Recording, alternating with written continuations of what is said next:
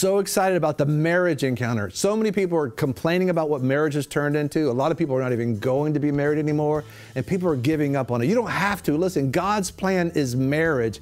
And at the marriage encounter with VFN, we want to bless you. The VFN Kingdom Business, we're focusing on you, your family, and your marriage. It's called Love and Respect. We have a special thing for you an entire weekend. It's going to bless your family, it's going to give you tools to be able to, to relate. And, and let me tell you something once we understand each other, we can relate to each other. And we're going to leave with tools that are going to empower you. As a matter of fact, here's Emerson now with Love and Respect.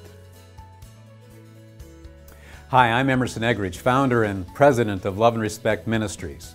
What is the love and respect message? Well, the University of Washington studied 2,000 couples for 20 years and discovered that the key to a successful relationship is love and respect.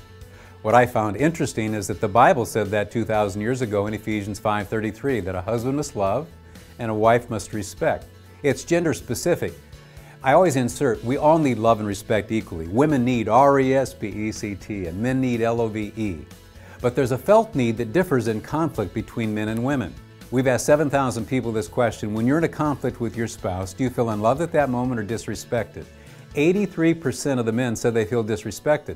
72% of the women say they feel unloved.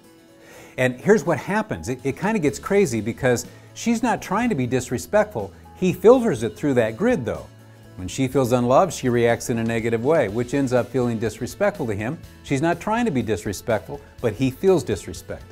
And then when he reacts in a negative way, he's not trying to be unloving, but she feels unloved. And so you have this confusion and it results in a crazy cycle. Without love, she reacts without respect. Without respect, he reacts without love, and this baby spins. Again, we all need love and respect equally, but the felt need often leads to the crazy cycle. Can you relate to that? And how to get on what we call the energizing cycle. In fact, it applies to parent-child, it applies to all relationships, whether eh, you're a male or female, wherever you're at, in the work arena or elsewhere.